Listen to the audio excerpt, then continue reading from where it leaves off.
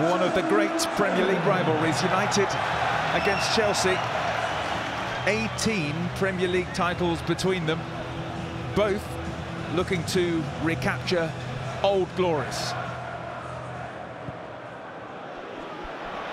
Oh, that's given away, United winning it high up the field. Here's Antony, he cuts inside, he goes down. He'll win over a lot of fans if he points to the spot here. Screen. There you go. Penalty. The square is in the air. Fernandes, oh, it's a great save. The rebound smashed over the top. It wasn't one of Bruno's best penalties. Amrabat. You attack, we attack. Fernandes. Garnacho. Blocked. The rebound smashed in. It's that man again.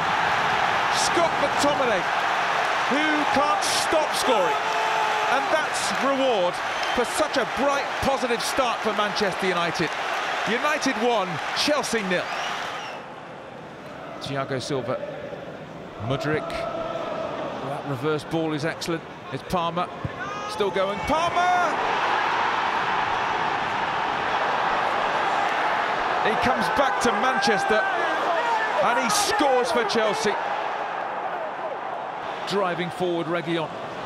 He finds Garnacho. Garnacho chipped a great ball up. Guess who? Yeah, that's right. Scott McTominay. He's done it yet again. A gorgeous dinked ball, and McTominay couldn't miss, didn't miss, and United lead again 2-1. Fernandes driving forward, gets it through to Reguilon. Reguilon pulls it back. Garnacho! Oh, it's wide again. Oh, no. What a chance. He's had a few tonight. But Reece James has it. Broja lurking off the woodwork. Questions answered. Points proven. A passionate Manchester United performance to prove some of those doubters wrong. United back on track. United 2, Chelsea 1.